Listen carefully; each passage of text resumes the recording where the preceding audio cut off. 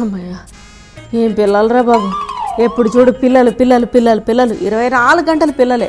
వాళ్ళ సంరక్షణ వాళ్ళని తీర్చిదిద్దడం బయటికి వెళ్ళినా వాళ్ళు వచ్చే లోపల ఇంట్లో ఉండడం వాళ్ళు ఎవరితో మాట్లాడుతున్నారు ఏం చేస్తున్నారు ఏం చదువుకుంటున్నారు వాళ్ళ సిలబస్ ఏంటి బుర్రలోకి ఏం ఎక్కుతుంది వాళ్ళు ఏం తింటున్నారు కరెక్ట్గా ప్రోటీన్ ఫుడ్ వెళ్తుందో లేదా? అయ్యయ్యో జ్వరాలు వచ్చాయి జలుబులు వచ్చాయి. పిల్లలు పిల్లలు పిల్లలు పిల్లలు. లైఫ్ అంతా పిల్లలే. పిల్లలకు ముందు కూడా మనకు అసలు ఒక లైఫ్ ఉంది. ఉండేది. కానీ ఏం గుర్తుంది?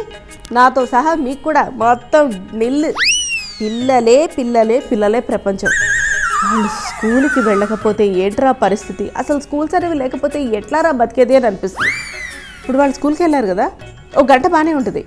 ఫాస్ట్ ఫాస్ట్గా పరంతం చేసేసుకుంటాం.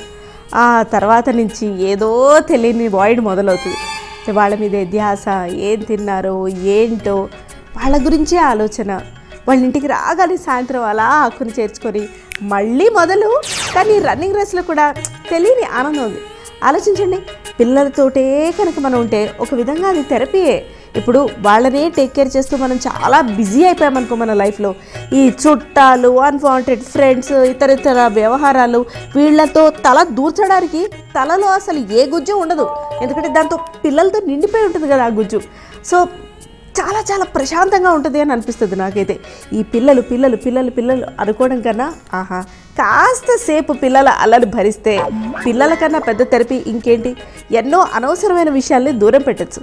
అండ్ టు సర్టన్ ఏజ్ వరకు వాళ్ళ ప్రేమ చాలా చాలా చాలా ప్యూర్గా ఉంటుంది.